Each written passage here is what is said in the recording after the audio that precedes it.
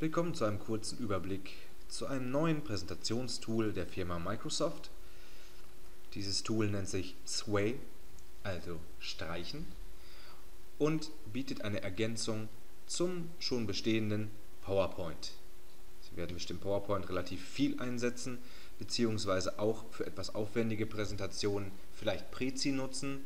Sway springt jetzt in eine Lücke, in eine Nische, die vorher vielleicht nicht da gewesen ist, aber die Microsoft nun geschaffen und besetzt hat. Sie können mit Sway nämlich wunderbar ähm, broschürenartige Präsentationen vollbringen. Im Moment ist Sway noch ein Preview, es wird kontinuierlich weitergearbeitet. Sie können sich aber mit einem Microsoft-Account schon mal damit befassen, wenn Sie Lust haben. Sie können diese Präsentation erstellen in einem gewissen Grad, das zeige ich Ihnen gleich noch, und haben die Möglichkeit, das natürlich auch mit der Community zu teilen. Also auf sway.com erhalten Sie diese Seite und wir schauen uns jetzt einmal an, was eine Sway, eine Präsentation, also ähm, leisten kann, wie das Ganze aussieht. So nehmen wir mal diese hier. Und Sie sehen, Sie haben natürlich gleich eine Vollbildpräsentation. Hier oben die Möglichkeit, das in den sozialen Netzwerken zu teilen, es einzubinden, den Link zu teilen. Genau, die Einbindung des Way ist hier. Und dann funktioniert das Ganze wie folgt. Durch Klicken können Sie die Bilder dann dementsprechend verkleinern und Sie haben dann die Möglichkeit, durch diese Präsentation zu scrollen, indem Sie einfach am Mausrad drehen und haben dann die Möglichkeit, das Ganze wie eine, neu, wie eine neuartige HTML5 Homepage komplett durchzustrukturieren. Sie sehen, Sie haben hier die Möglichkeit, Videos einzubinden, ähm, Überschriften zu machen, also alles, was schon bekannt ist. Ähm, das Ganze sieht hier natürlich nochmal etwas schicker aus, ähm, als es bei PowerPoint zum Beispiel möglich wäre. Wichtig ist natürlich, sich immer nur zu überlegen, wofür, für welche Präsentation brauche ich welches Tool.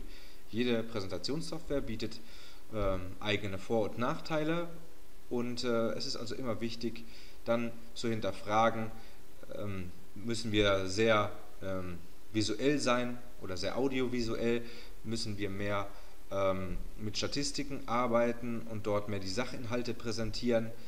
Ähm, Sway ist sicherlich ein Tool, das sehr auf der visuellen Schiene arbeitet. Sie sehen, ich habe jetzt einfach mal weiter, weiter gescrollt und es nimmt kein Ende, ein Fass ohne Boden, deswegen zeige ich Ihnen mal eine andere Art, wie man eine Sway aufziehen kann. Wir schauen uns hier einmal den roten Panda-Bären an. Das dauert jetzt wieder einen kurzen Moment. Wie gesagt, es ist nur eine Preview-Version und hier haben wir schon mal eine völlig andere Sway. Und hier haben wir unten unsere Kontroll-Button und ich klicke jetzt einfach mal weiter.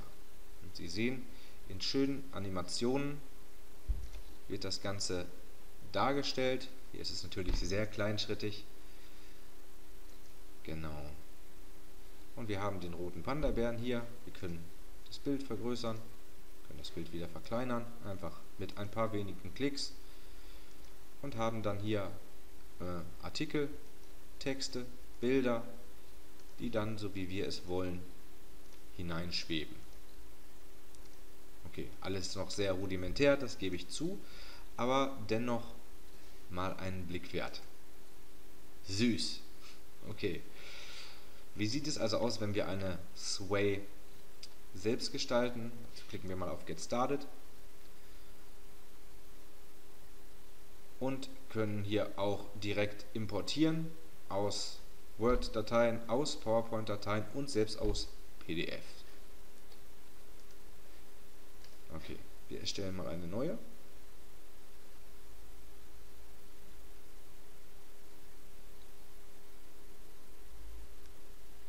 Und haben also hier tatsächlich die Möglichkeit, äh, Texte, Überschriften, Bilder und so weiter direkt über ein Seitenmenü auszuwählen, auch Charts zu erstellen, hier Vergleiche ähm, das ist also wirklich schon sehr durchdacht, wenn es fertig ist. Wir machen hier einmal Test. versuchen mal ein Bild auszuwählen und können direkt hier auf verschiedene Datenbanken zugreifen. Wir können bei Bing suchen, können YouTube-Videos ähm, einbetten. Wir nehmen hier mal kurz den Rorschach-Test und sehen, was allerdings auch sehr wichtig ist, ähm, es läuft unter der CC-Lizenz. Wir können sie also in unserem wissenschaftlichen Rahmen nutzen. Nehmen hier mal dieses Bild, wählen das aus, beziehungsweise ziehen das auch direkt da rein.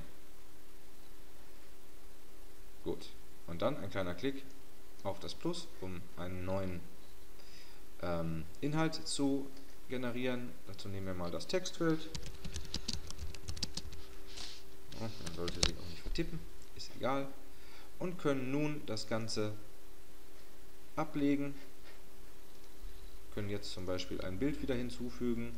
Nehmen jetzt das hier, ziehen das einfach hinein, bestätigen das. Okay. Dann machen wir es hier wieder zu. Hier oben ist dann die Card Section, also der, das Seitenmenü. Wir können das Design nochmal anpassen. Hier hat er also gleich unser Präsentationsbild als Hintergrundbild gewählt. Können dann auch sehen, wie dieses Sway aufgebaut werden soll, und zwar als äh, Top-Down-Scroller oder als Side-Scroller. Und alle anderen Möglichkeiten werden dann im Laufe der Zeit hinzugefügt. Okay. Wir haben hier also nochmal die Möglichkeit, oben links ähm, äh, mediale Dateien einzubringen und können die natürlich auch selber äh, hochladen oder auch hier nochmal dieses Sidebar erweitern mit einer eigens gewählten Quelle. Jetzt ist diese ganze Präsentation schon länger geworden, als ich wollte. Äh, deswegen machen wir hier mal einen Cut. Sie haben Sway jetzt einmal gesehen. Es ist wie gesagt noch in der Testphase. Spielen Sie am besten ein wenig damit herum, schauen Sie mal, was Sie so bewerkstelligen können, was Sie jetzt in dieser frühen Version schon äh, damit an Präsentationen erstellen können und schauen Sie immer mal wieder hinein und gucken für sich selbst, ob es vielleicht Ihnen und Ihrer Art zu präsentieren entgegenkommt und für Sie nützlich ist. Als letztes zeige ich Ihnen hier noch das Seitenmenü, in dem Sie dann auch gegebenenfalls weitere Sways äh, speichern können, teilen können, etc. Auf Preview geklickt kommt dann übrigens nochmal Ihre momentane Sway und Sie sehen gleich, dass das hier auch relativ schön mit Animationen oder Präsentationen der, des Bildes äh, so einhergeht. Und ich würde vorschlagen, probieren Sie es einfach mal selbst aus. Ich bedanke mich für die Aufmerksamkeit und entschuldige mich für das Rauschen hier am PC.